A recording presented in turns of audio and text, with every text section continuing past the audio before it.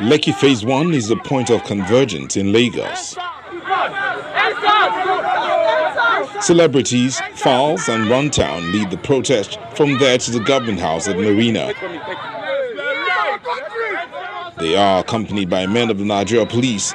You must be good. Yes. You must be safe. Yes. Do you want to be king? No. Do you want SARS? No. Do you want to be... Youth representing different organizations and schools in Kwara State they are also accompanied by security operatives from the post office area of Ilorin to the police headquarters and are received by the Deputy Commissioner of Police. We have listened to your complaints, your petitions, and as, as earlier told the other group, your petitions are well noted, will be documented, forwarded to the Commissioner of Police, Kwara Command, who will in turn forward it to the Commissioner of Police to look at it and take deep and proper action. From the police command, the youth move to the government house where they go into lamentation about killings by SARS operatives. Because of my iPhone, does that mean that I'm a criminal? These questions and many more are what youth are asking. Government should be ready to take responsibility. We don't want SARS. SARS should be banned. SARS should be ended for life.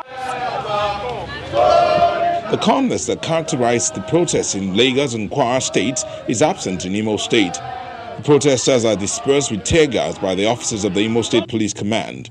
In the process, the Divisional Police Officer of Oji Division pulls out his gun at the protesters. The DPO pulling out his um, gun is it's not um, acceptable to us because uh, we are expected to be civil to the members of the public.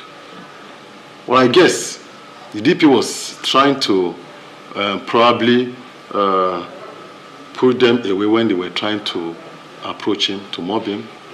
In Benin City, a group of youth converged on Ring Road before marching onto the NUJ Secretariat and later on to the Edo State Police Command headquarters to express their grievances.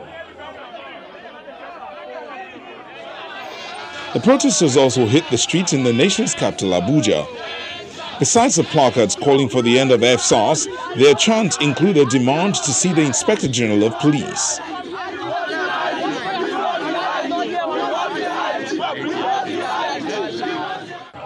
As many Nigerians continue to express their displeasure over the recent activities of the Special Anti-Robbery Squad, the authorities may have to take appropriate steps to curb the officers' actions, which are considered by many as high-handed.